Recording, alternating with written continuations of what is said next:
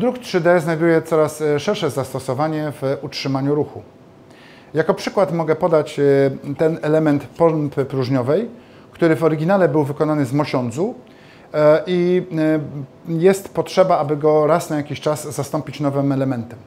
Koszt druku tej pompy próżniowej razem z elementami inżynierii odwrotnej, z zaprojektowaniem tego elementu kształtuje się na poziomie 350 euro. Czas oczekiwania na wykonanie tego elementu metodą tradycyjną to do miesiąca. Czas wykonania tego elementu łącznie z inżynierią odwrotną e, do tygodnia. Te liczby mówią same za siebie. Dlaczego to jest takie ważne na utrzymaniu ruchu? Proszę sobie wyobrazić, że e, jeżeli ta pompa próżniowa nie działa, linia produkcyjna w Państwa przedsiębiorstwie będzie stała przez tydzień lub nawet miesiąc. Nie jest to pierwsza sytuacja, kiedy e, drukujemy e, ten element dla naszego klienta i nie jest to pierwsza sytuacja, kiedy elementy wykonane na drukarce 3D zastępują w utrzymaniu ruchu elementy wykonywane metodą tradycyjną. Odwołam się tutaj do innego elementu, a mianowicie do tego koła zębatego.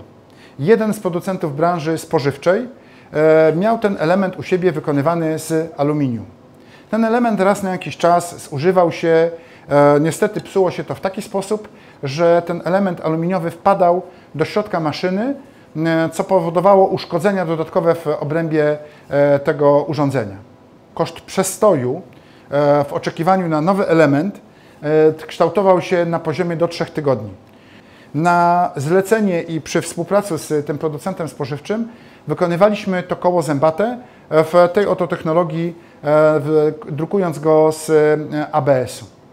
E, nawet jeżeli to koło uległo uszkodzeniu i znowuż, tak jak w poprzednim przypadku, wpadało do środka maszyny, nie uszkadzało ono jednak dodatkowych elementów, co nie powodowało przestojów znacznie dłuższych oraz znacznie wyższych kosztów użytkowania. Po pewnym czasie, we współpracy z tym producentem spożywczym, doszliśmy do jeszcze innego rozwiązania, a mianowicie służby utrzymania ruchu doszły do wniosku, że należy podnieść na wyższy poziom zastosowania druku 3D. A zatem e, razem e, we współpracy z nimi zaczęliśmy drukować to koło zębate w dwóch częściach. Tą część wykonywaliśmy z ABS-u, która była wykonywana na stałe, natomiast tą zębatkę zewnętrzną wykonywaliśmy z innego materiału, konkretnie z nylonu w tym przypadku. Co to powodowało i co to daje klientowi? To dawało klientowi e, następującą oszczędność. Oprócz oczywiście oszczędności e, wymiernych w postaci tego, że ten element się oczywiście zużywał, e, tego, że raz na jakiś czas musiał klient dokonywać naprawy urządzenia, tak naprawdę wymianie podlegała tylko ta zębatka. Było to wymierne skrócenie czasu naprawy, ponieważ wydruk takiej zębatki, jak się zapewne Państwo domyślacie, oznacza dla klienta czas oczekiwania do jednego dnia. Czyli nawet jeżeli maszyna stała, to stała tylko 24 godziny w oczekiwaniu na nową zębatkę.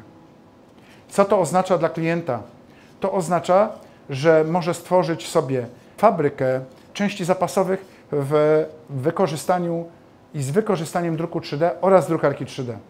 W każdej chwili i w każdym momencie może wydrukować sobie e, elementy na przemysłowej drukarce 3D, które będą miały funkcjonalność oraz wytrzymałość taką, jaką do tej pory spełniały elementy wykonane z mosiądzu, z aluminium lub nawet ze stali.